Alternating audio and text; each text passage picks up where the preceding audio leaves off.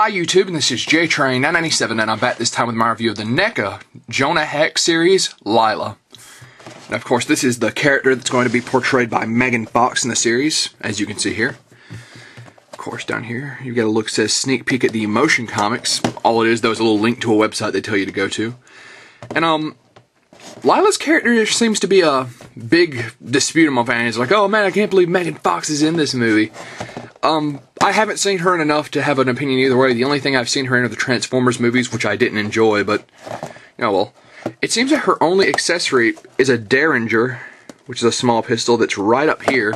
For some reason, they stuck it behind this big outline of Jonah. I mean, it looks like she comes with absolutely nothing besides prostituting action. Of course, um, onto the back. Of course, you have a little spiel about the motion comics. Says, hey, they're not for kids. Over here, a wanted poster of Lila, Jonah Hex, and Quentin Turnbull, which are, of course, the other characters in the series.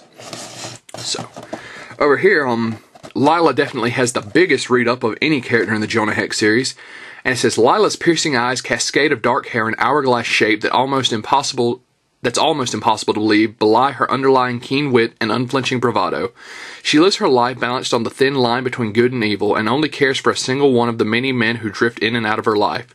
The only one who can possibly see to the heart of who she really is, Jonah Hex. They are star-crossed, and when they that star falls into the brutal hands of Quentin Turnbull, Jonah will have to rely on her more than he ever has before help before to help save the country. So, um, the way I hear it, she only makes a few appearances in the film. She only shows up about three times, but you know, who knows? Nobody's seen the movie yet. But that being said, this figure looks fantastic. Let's pull her out of the packaging. And here we have Lila out of packaging. And of course, um, you can see her Derringer right there in her hand. Let's get a quick 360 over. As you can see, NECA definitely didn't skimp on the detail. Once again, they've done a fantastic job. That being said, let's actually go on to her overall look. Of course, a very nice sculpt. Nice all down her costume. Um, especially there, the way the dress is kind of translucent and goes all the way down. So I'm um, very nice. Of course, even back here, the little um drawstring for the corset is a very small um loose plastic, so it moves like an actual string. But let's pull her Derringer out of her hand here, which you can see. Small gun, but some pretty nice detail on it. That's pretty accurate to what a Derringer looks like. It fits just fine in her hand. Um, of course, onto her articulation, which panning back out. Her head can do a full 360 despite having some pretty massive hair, because it's a softer plastic, and go up and down. Her arms can go out to about here, and both do a full 360.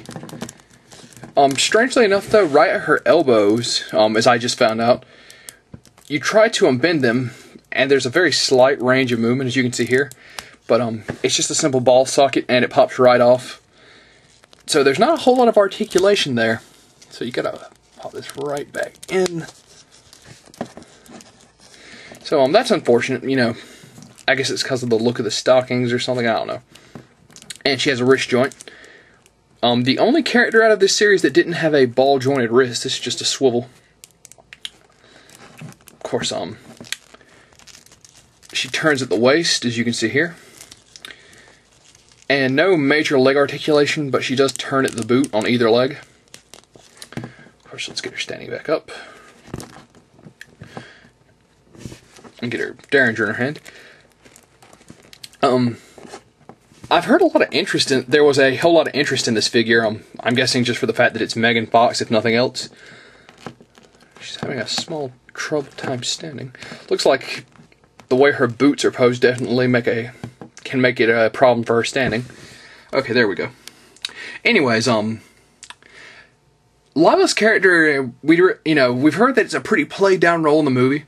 Um, so I've got to say the whole this figure is probably just going to be for people who are either looking for a Megan Fox figure or really just want a whole um the whole collection of Jonah Hex. I gotta say it's an okay figure. Um, usually NECA blows me away though, and while the detail on this is great, um, I mean once again NECA's detail is you know, I don't think there's any other toy company out there that even comes close to what they do. The overall figure just kind of seems eh to me. It's not bad. The detail is great. It's gonna look great on a shelf. But overall, the figure is definitely for the people who are picking up, you know, the whole line, Jonah and Quentin as well. But that being said, this is JTrain997, and I'll see you soon, YouTube.